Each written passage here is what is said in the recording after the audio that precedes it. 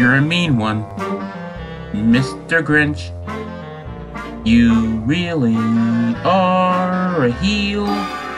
You're as cuddly as a cactus, you're as charming as an eel, Mr. Grinch. You're a bad banana with a greasy black peel.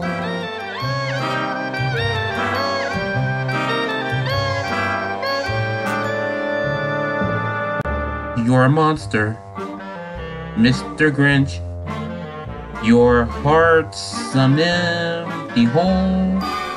Your brain is full of spiders. You've got garlic in your soul, Mr. Grinch. I wouldn't touch you with a 39 and a half foot pole. You're a one, Mr. Grinch. You have termites in your smile. You have all the tender sweetness of a seasick crocodile, Mr. Grinch.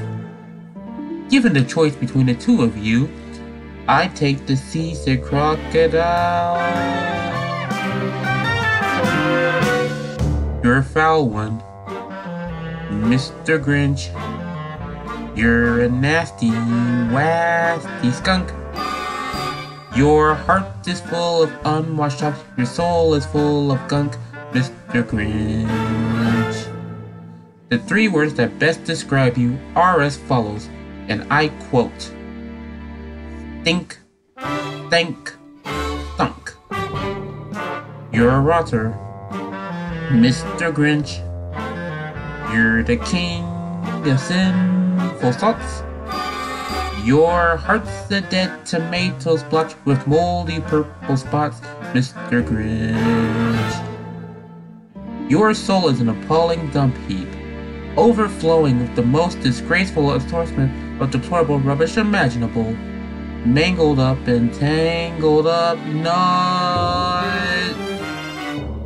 You nauseate me, Mr. Grinch, with a nauseous super nos. You're a crooked turkey ducky, and you drive a crooked bus, Mr. Grinch. You're a three-decker sauerkraut and toadstool sandwich with arsenic sauce.